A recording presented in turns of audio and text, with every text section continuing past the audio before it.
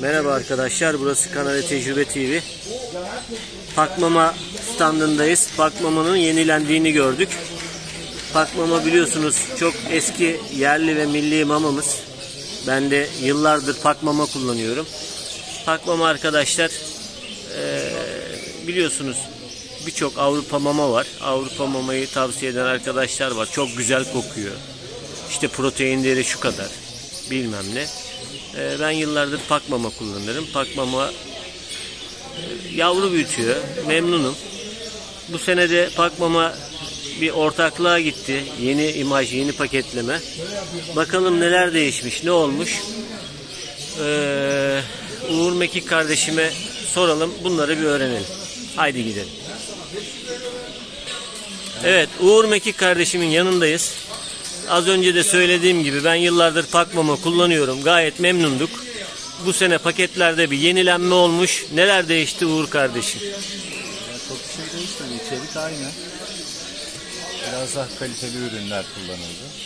Premix'te mesela Türkiye'nin en iyileri kullanıldı. Vitamin gruplarında, Premix'te, soyada.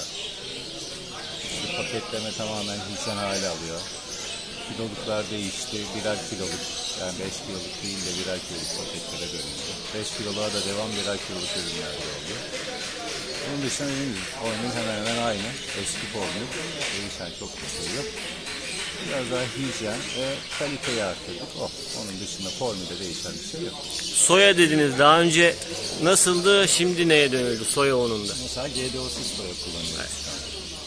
Artık GD, GDO'suz insanların tükettiği soya proteini. Soya kullanmaya Peki önümüzdeki günlerde yeni ürünler çıkacak mı? çıkacak ama O zaman buradan. Buradan izleyicilerimize müjdeyi verelim. Pakmama olarak ben az önce de söyledim. Ben gayet memnunum. Kuşçuluğa başladığımdan beri pakmama kullanıyorum. Tamamen yerli ve güvenilir. En azından üretim zamanı özellikle yavru büyüt, büyüten bir mama. Bir kere şu yok yani e, yurt dışından gelen mamalar gibi senede bir kere ithal edelim, getirelim, işte stoğumuzda dursun diye biz de Sürekli gün devam üretiyoruz, edilir. sürekli. Devamı var. Yani Her yerden. satabileceğimiz oran ne? Atıyorum e, rakamları 50 birim.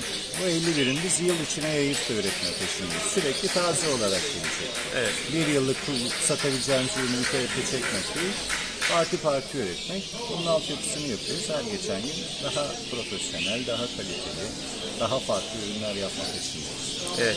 Başarılarınızın devamını dileyeyim o zaman. Ben tavsiye ediyorum arkadaşlar pakmamayı. Size de kolay gelsin. Çok sağ olun.